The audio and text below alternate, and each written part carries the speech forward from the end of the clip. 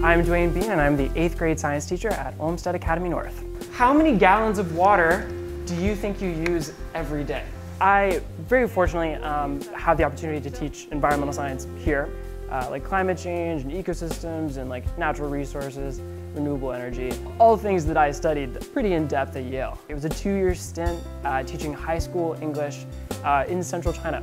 Didn't intend to become a teacher when I left, you know, in, in like the, the long-term future. But when I got there, I, I had such a blast. Uh, being in the classroom feels very natural to me. And, uh, when I came back because of because of COVID, I wanted to become a teacher here. I have this like this uh, this this breadth and depth of knowledge of different like environmental issues and scientific uh, concepts, and my job is to break it down uh, for students so they can understand. Yeah, use it for drinking. It's beautiful to see students sort of click in their heads like, oh, I know what's going on here. I know what this problem is.